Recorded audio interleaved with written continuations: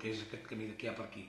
El pas soterrat per a vianants i ciclistes que hauria d'unir el nucli urbà de Caldes amb el cementiri municipal per sota la carretera C59 ja té un avantprojecte definit. Aquests plànols mostren l'obra que es faria paral·lela al carrer Vigues.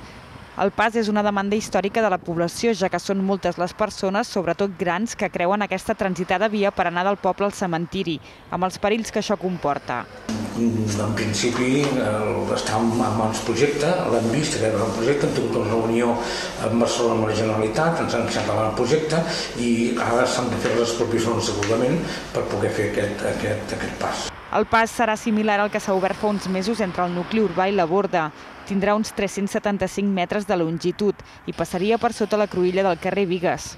El finançament serà de la Generalitat i és per això que, com que els pressupostos d'aquest any no el contemplen, no es podrà desenvolupar fins l'any que ve. No pagaran, no paga la Generalitat, s'han fet càrrec la Generalitat i aquest any crec que no tenen pressupostos.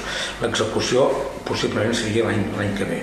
Evidentment estem oberts a qualsevol negociació, a qualsevol pacte, perquè aquest pas sigui el abans possible doncs, obert. Amb aquest pas soterrat es resoldrà un punt crític pel que fa al pas dels vianants a la C59 al seu pas per Caldes i el municipi tindrà resolts tots els accessos a serveis municipals. El consistori lamenta l'atropellament de fa una setmana a dos quilòmetres d'aquí, en què un veí de la població va perdre la vida en creuar del restaurant Olimpo a l'aparcament que hi ha al davant. En aquest cas, però, es tracta de l'accés a un negoci privat. Amb tot, el regidor afirma que és un punt que també els preocupa i que s'està estudiant.